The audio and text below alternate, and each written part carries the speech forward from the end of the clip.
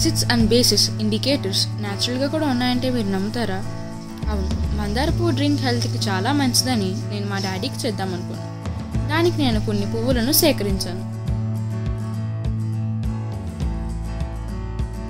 Anthocyanin అనే pigment వల్ల ఇది రెడ్ కలర్లో ఉంటుంది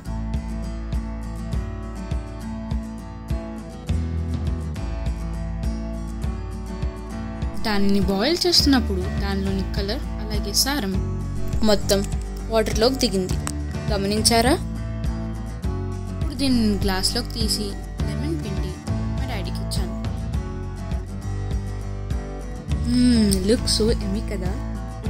అప్పుడు డాడీ లెమన్ పిండకు ముందు కూడా కలర్ సేమ్గా ఉందా అని నన్ను అడిగారు.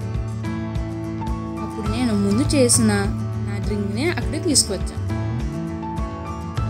కలర్ డిఫరెన్స్ అనేది చాలానే ఉంది. మీరు కూడా గమనించే ఉంటారు కదా? అప్పుడు నాకు గుర్తొచ్చింది. సెవెంత్ క్లాస్లో ఇండికేటర్స్ గురించి చదివినప్పుడుది గుర్తొచ్చింది. అప్పుడు ఒక చిన్న ఎక్స్పెరిమెంట్ చేద్దామని నాకు అనిపించింది.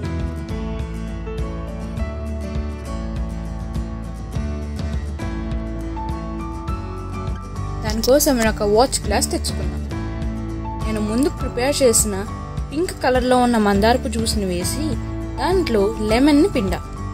అది కొద్ది కొద్దిగా పింక్ కలర్ నుంచి రెడ్ కలర్లోకి మారింది.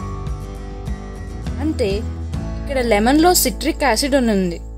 అది మందారపు డ్రింక్ మీద వేసినప్పుడు ఈ మందారపు డ్రింక్ అనేది దాంతో రియాక్ట్ అయ్యి రెడ్ కలర్ని మనకి ఇండికేట్ చేసింది. ఈసారి అనదర్ యాసిడ్తో ట్రై చేద్దామని మళ్ళీ నేను ప్రిపేర్ చేసిన మందారపు జ్యూస్ని ఈ స్లైడ్ మీద తీసుకున్నాను. ఈసారి నేను తీసుకున్న యాసిడ్ డైల్యూటెడ్ ఎస్టిక్ యాసిడ్. మన ఇంట్లో యూస్ చేసే వెనిగర్. దాన్ని టూ స్పూన్స్ నేను పింకిష్ మందారపు డ్రింక్ మీద వేసినప్పుడు అది రెడ్ కలర్లోకి మారింది.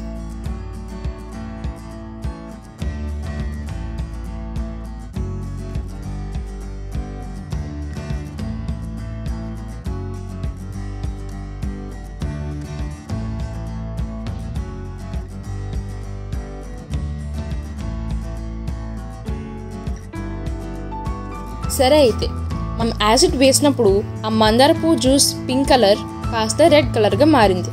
మరి బేస్ వేసినప్పుడు అది ఏ కలర్లోకి మారుతుంది?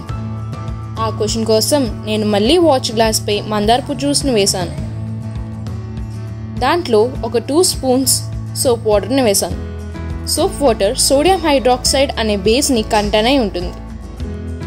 అలా నేను సోప్ వాటర్ అంటే సోడియం హైడ్రాక్సైడ్ని వేసినప్పుడు ఆ మందారపు juice baby pink colour disappear అయి కొంచెం కొంచెం లైట్ గ్రీన్ కలర్ వచ్చింది.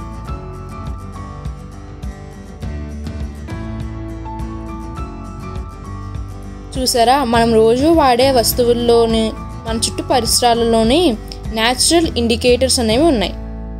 అలాంటి క్వశ్చన్ నన్ను అడిగినందుకు thanks dad and thank you all for watching